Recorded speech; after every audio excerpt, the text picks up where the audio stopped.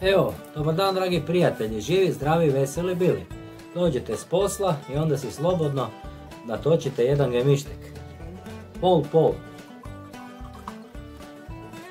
To je onaj krijepostni gemištek da vam otvori apetit da možete dobro ručati.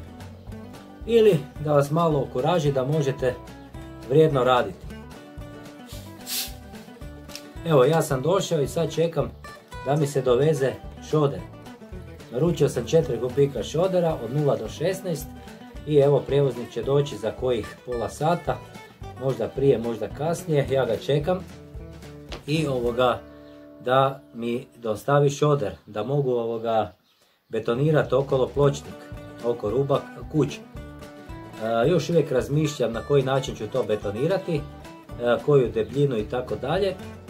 E, brat mi je savjetovao, i tako pitao sam tu neke ljude koji blizu žive, imaju iskustva.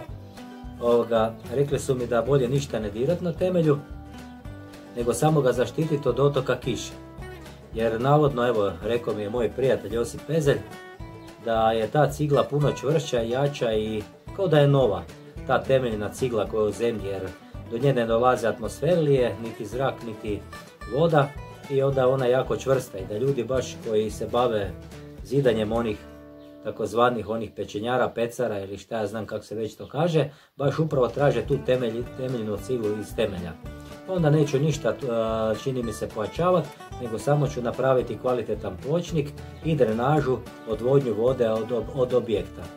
Evo, to sad, evo, upravo, evo, živeli pijem gemištek i čekam ovoga prijevoz, e, zapravo autoprevoznika koji će mi dopeljati šoder.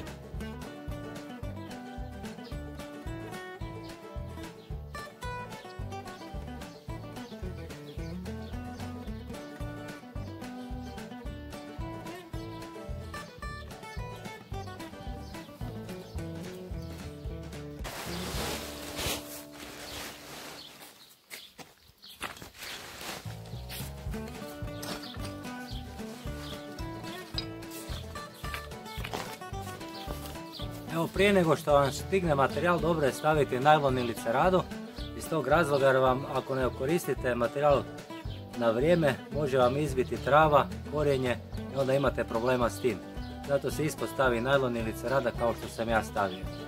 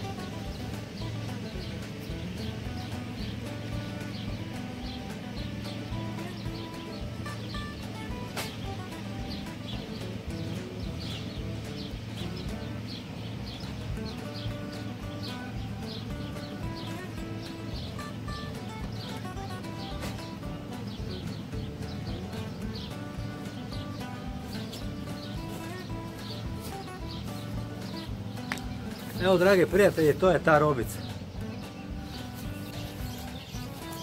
Evo znači ovaj šoder sam naručio za uređenje ovog temelja. Tu i ovog pločnika ovdje. E sad ima više solucija kako ću to napraviti. Evo pogledajte kako to izgleda. Znači zub vremena je učinio svoje, to je negdje blizu 100 godina. Ovaj gornji dio sam sugirao i to ne izgleda loše. Ali ovaj donji dio je isto ok s obzirom na godine. Evo tu će dole doći sve okolo pločnik. Evo cijelom dužinom kuće dolazi pločnik. Ima više solucija kako ću to napraviti, moram se još malo raspitati bolje. Moj brat, inače on je ovoga, te struke građevinske, građevinski laborant, on mi je rekao da bolje temelje ne dirati, potemelje, nego samo zaštititi dotak vode, tako će to i na kraju biti. Malo sam se posavjestovao i s ljudima koji ovdje žive, koji poznaju bolje ovaj teren i sve. I evo ga, 4 kubika šodera će biti dosta za ovo, traće cementa, tako dalje, bit će to fini nogostup okolo. I onda idemo na žbukanje temelja, kompletno uređenje, odvod vode. I ovdje tu se mora odvesti voda ova koja ide sa, koja sa krova pada ovdje, evo.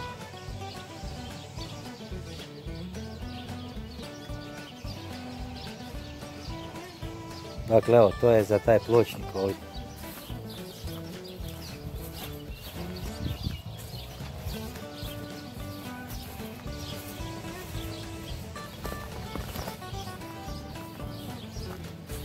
Dobro je šoder ovako pokriti, ipak se malo zaštiti.